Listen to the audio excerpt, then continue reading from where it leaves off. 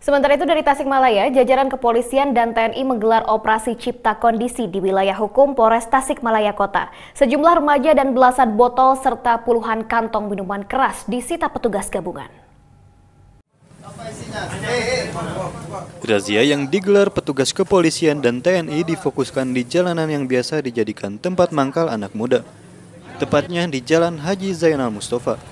Petugas mendapatkan sejumlah pemuda yang sedang menggelar pesta miras. Sementara di kawasan Jalan BKR, polisi temukan belasan botol minuman keras dari sebuah rumah. Tak hanya itu, di kawasan Jalan Pasar Cikurubuk, petugas gabungan mendapatkan puluhan kantong miras oplosan siap edar.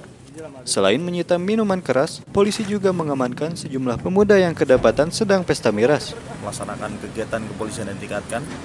Dalam hal ini kita sudah melaksanakan patroli skala besar dan mengamankan beberapa pemuda serta mengamankan minuman keras dan dengan adanya operasi cipta kondisi ini, pihak kepolisian berharap dapat menurunkan angka kriminalitas serta peredaran miras di kota Tasikmalaya. Budi Pardiana melaporkan untuk NET.